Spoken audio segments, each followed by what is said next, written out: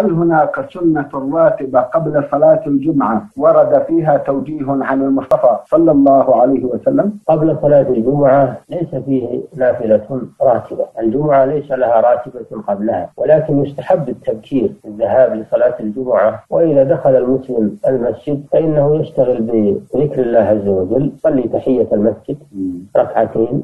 فإن شاء جلس يذكر الله أو يتلو القرآن إلى أن يحضر الإمام وإن شاء واصل صلاة النافلة. إلى أن يخرج الإمام وهذا أفضل. كونه يواصل صلاة النافلة حتى يخرج الإمام هذا أفضل. وإذا اقتصر على تحية المسجد وجلس فلا بأس. وإن صلى أكثر من تحية المسجد وجلس أيضا فلا بأس. الأمر في هذا واسع والحمد, لله. إلا أن المطلوب من المسلم أن يبكر لصلاة الجمعة.